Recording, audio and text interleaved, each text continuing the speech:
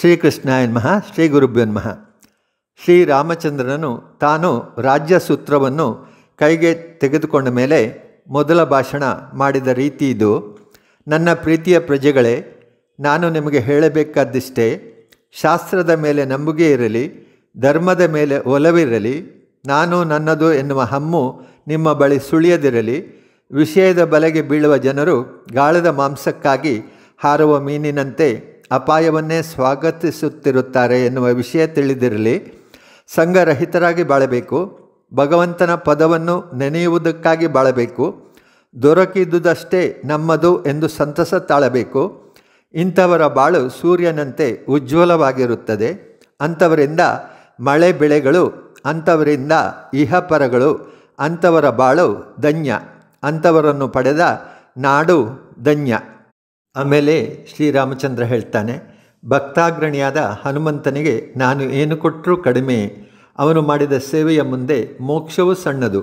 ಅವನು ನನ್ನ ಸಹಭೋಗವನ್ನು ಪಡೆಯುವಂತಹ ಭಾಗ್ಯಶಾಲಿ ಆಗ್ತಾನೆ. ಇಷ್ಟೇ ಅಲ್ಲ, ಹನುಮನ್, ಇನ್ನೂ ಏನನ್ನಾದರೂ ನೀನು ಬಯಸುವೆಯಾದರೆ ಅದನ್ನು ಪಡೆಯುವೆ ಎಂದು ತನ್ನ ಕಂಠದಿಂದ ಅಮೂಲ್ಯವಾದ ಹಾರವೊಂದನ್ನು ತೆಗೆದು ಹನುಮಂತನ ಕೊರಳಿಗೆ ತೊಡಿಸಿದನು. ಹನುಮಂತನು ನಮ್ರವಾಗಿ ನಿವೇದಿಸಿಕೊಂಡನು.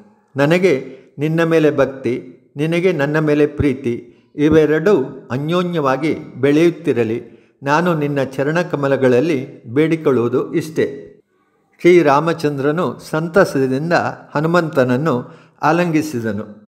ಇದು ಭಗವಂತ ಮತ್ತು ಭಕ್ತ ನಡೆದುಕೊಂಡಂತಹ ರೀತಿ. ಇದರಲ್ಲಿ ರಾಮಚಂದ್ರ ಪ್ರಭು ಇಡೀ ಜೀವನದ ಸಂದೇಶವನ್ನು, ಜೀವನದ ಸಾರವನ್ನು ಅದ್ಭುತವಾಗಿ ಹೇಳ್ತಾನೆ. ಶಾಸ್ತ್ರದ ಮೇಲೆ ನಂಬಿಕೆ ಇರಬೇಕು, ಧರ್ಮದ ಮೇಲೆ ಒಲವು ಇರಬೇಕು.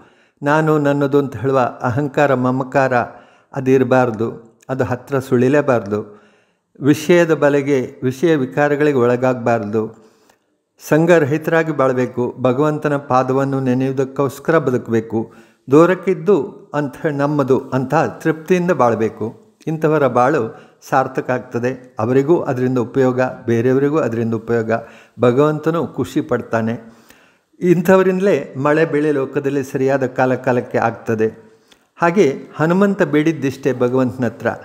ನನಗೆ ನಿನ್ನ ಪಾದದಲ್ಲಿ ಭಕ್ತಿ ಇರಲಿ.